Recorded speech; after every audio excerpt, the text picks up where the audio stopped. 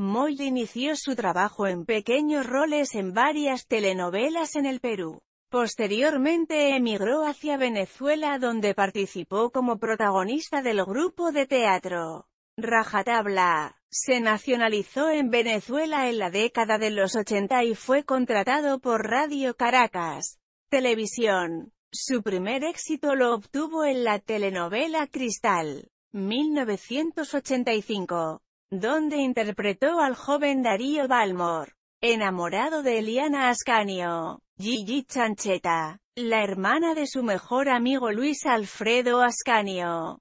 Carlos Mata, trabajó también en la telenovela Abigail como antagonista.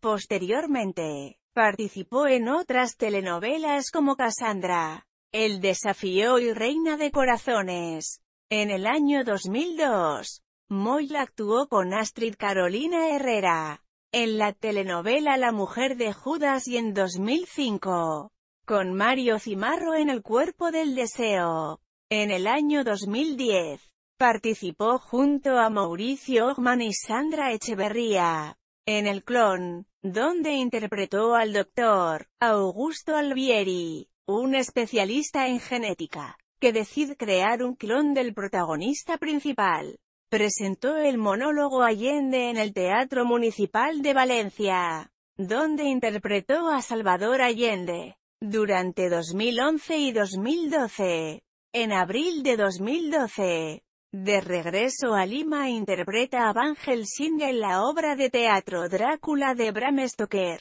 Terminada la temporada regresará a Venezuela a protagonizar una película basada en la vida de Cipriano Castro y volverá a Perú a actuar en dos obras. Nuestro pueblo dirigida por Chela de Ferrari y otra dirigida por Roberto Ángeles.